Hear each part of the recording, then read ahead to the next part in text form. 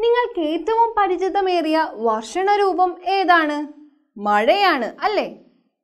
The most familiar and common form of precipitation is in the form of water drops and this is the rainfall ഈ മഴയും പലവിധമുണ്ടെന്ന കാര്യം നിങ്ങൾക്കറിയാമോ? Now let see the different forms of rainfall the first one is orographic rainfall അഥവാ ശൈലവൃഷ്ടി. The second one is convectional rainfall അഥവാ സംവഹന വൃഷ്ടി. And the third one is border rain അഥവാ തീരദേശ വൃഷ്ടി.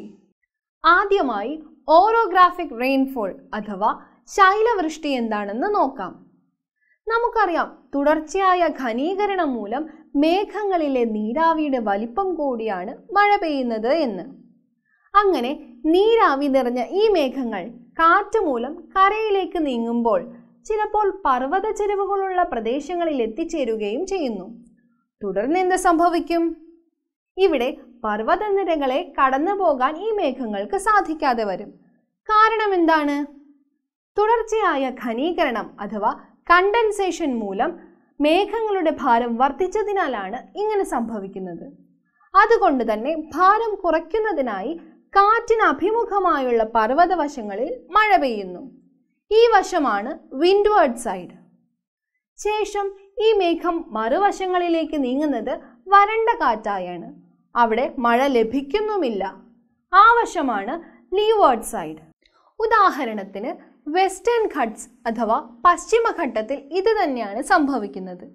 ഇത്തരത്തിൽ പെയ്യുന്ന മഴയെ ശൈലവൃഷ്ടി അല്ലെങ്കിൽ പർവതവൃഷ്ടി അഥവാ ഓറോഗ്രാഫിക് റെയിൻഫോൾ എന്നറിയപ്പെടുന്നു. പർവതങ്ങളുടെ കാറ്റിന് പ്രതിമുഖമായുള്ള വശങ്ങളിൽ സ്ഥിതി ചെയ്യുന്നതും മഴ ലഭിക്കാത്തതുമായ പ്രദേശങ്ങളെ മഴനിഴൽ പ്രദേശങ്ങൾ അഥവാ റെയിൻ ഷാഡോ റീജിയൻസ് എന്നും വിശേഷിപ്പിക്കുന്നു. ഈ പാഠഭാഗവുമായി ബന്ധപ്പെട്ട ഒരു ചോദ്യം നമുക്ക് ചർച്ച ചെയ്യാം. The question is when Kerala receives south west monsoon rainfall western parts of Tamil Nadu remain dry why കേരളത്തിൽ തെക്കു പടിഞ്ഞാറൻ മൺസൂൺ മഴ ലഭിക്കുമ്പോൾ തമിഴ്നാടിന്റെ ഭാഗങ്ങളിൽ ഇത് ലഭിക്കാറില്ല. എന്തുകൊണ്ട്? നമുക്ക് നോക്കാം. The south west monsoon rainfall is an example of orographic rainfall ശൈലവൃഷ്ടിക്ക് ഉദാഹരണമാണ് തെക്കു പടിഞ്ഞാറൻ മൺസൂൺ മഴ. Kerala is situated in the western part of the western Ghat. So it receives good rainfall. പശ്ചിമഘട്ടത്തിന്റെ പടിഞ്ഞാറ് ഭാഗത്താണ് കേരളം സ്ഥിതി ചെയ്യുന്നത്. കാറ്റിന് അഭിമുഖമായ പശ്ചിമഘട്ട ഭാഗമായ കേരളത്തിൽ നല്ല മഴ നൽകിയ ശേഷം കാറ്റ് പർവതത്തിന്റെ കിഴക്ക് ഭാഗത്തെത്തുന്നു. കിഴക്കു ഭാഗം മഴനിഴൽ പ്രദേശമാണ്. After shedding the rains on the windward side the dry wind reaches the leeward side which fails to give rain in this area. It is a rain shadow region and Tamil Nadu is in shadow region. And therefore, Kerala receives rain while Tamil Nadu does not get rain. ഈ മഴനിഴൽ പ്രദേശത്താണ് തമിഴ്നാട് സ്ഥിതി ചെയ്യുന്നത് അതുകൊണ്ടാണ് കേരളത്തിൽ മഴ ലഭിക്കുമ്പോൾ തമിഴ്നാട്ടിൽ മഴ ലഭിക്കാത്തത് now let's discuss about the next type of rainfall that is convectional rainfall അഥവാ സംവഹന വൃഷ്ടി ഇക്വിറ്റോറിയൽ ക്ലൈമാറ്റിക് റീജിയൻ അഥവാ മധ്യരേഖാ കാലാവസ്ഥാ മേഖലയുടെ പ്രത്യേകതകൾ നിങ്ങൾക്ക് ഓർമ്മയുണ്ടോ? ഉയർന്ന താപനിലയും എല്ലാ ദിവസവും ഉച്ചതിരിഞ്ഞുള്ള മഴയും ഇവിടുത്തെ പ്രത്യേകതയാണ്. ഭൂമിയുടെ ആറ് ശതമാനം മാത്രമാണ് ഈ റീജിയൻ ഉള്ളത്. And it is also known as rain forest അഥവാ മഴക്കാടുകൾ. ഉയർന്ന താപമുള്ള ഈ പ്രദേശം എന്തുകൊണ്ടാണ് റെയിൻ ഫോറസ്റ്റ് എന്നറിയപ്പെടുന്നത് എന്ന് നിങ്ങൾക്കറിയാമോ?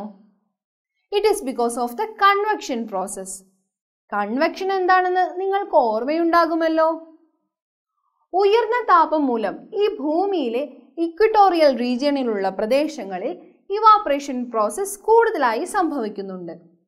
ഈ ഇവാപ്രേഷൻ പ്രോസസ്സ് വഴി ഭൗമോപരിതലത്തിലെ ചൂടായ വായു വികസിച്ച് മുകളിലേക്ക് ഉയരുന്നു. പിന്നീട് എന്ത് സംഭവിക്കും? ഈ വായു ഖനീഭവിച്ച് അഥവാ കണ്ടൻസ് ചെയ്ത് മേഘങ്ങൾ രൂപപ്പെടുന്നു. തുടർന്ന് ഇടിമിന്നലോടുകൂടിയ മഴ ഉണ്ടാകുന്നു. And this rain mostly occur in the afternoon and does not last long ഈ മഴ സാധാരണയായി ഉച്ച കഴിഞ്ഞാണ് പെയ്യുന്നത്. അധിക സമയം നീണ്ടു നിൽക്കാറുമില്ല. And this type of rainfall is known as convectional rainfall അഥവാ സംവഹന വൃഷ്ടി ഇത് ഒരു സാധാരണ ഉഷ്ണമേഖലാ പ്രതിഭാസമാണ് now let's move on to the next type of rainfall that is the border rain അഥവാ തീരദേശ വൃഷ്ടി We have already studied that there is always a difference in the atmospheric temperature over the land and the sea. കരയ്ക്കും കടലിനും മുകളിലെ അന്തരീക്ഷ താപനില വ്യത്യസ്തമായിരിക്കുമെന്ന് നമ്മൾ പഠിച്ചിരുന്നു അല്ലേ?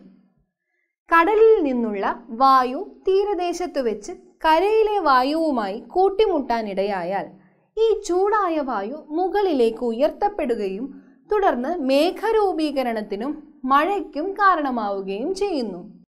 ഈ മഴയെ തീരദേശ മഴ അഥവാ ബോർഡർ റെയിൻ എന്ന് വിളിക്കുന്നു. That is When the air over the sea comes in contact with the air over the land in coastal regions, the warm air will be pushed upwards causing cloud formation and rainfall. And this type of rainfall is border rain adhava ತೀರದೇಶ ವೃಷ್ಟಿ